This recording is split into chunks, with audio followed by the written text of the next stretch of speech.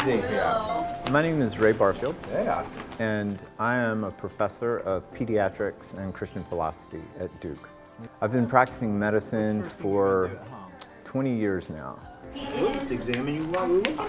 Reimagining medicine is an attempt to reframe the formation of physicians and an answer to the question, what are patients experiencing? need to be more like you.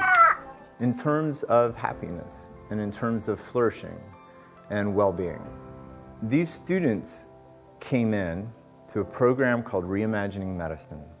They did meditation, improvisation, expressive writing, visits to an art museum, and it's not surprising that they had the question, what does this have to do with medicine? My answer to them at the beginning was this. When you become a doctor, you're going to ask your patients to do all sorts of things that they may not understand, but they'll trust you.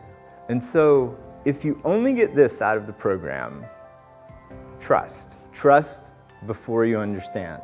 And they did. I chose students who are rising juniors or seniors because they've had time to think about whether or not they really want to go through with this and become physicians. And so they're ready, but they don't know what they're getting into they're open to things.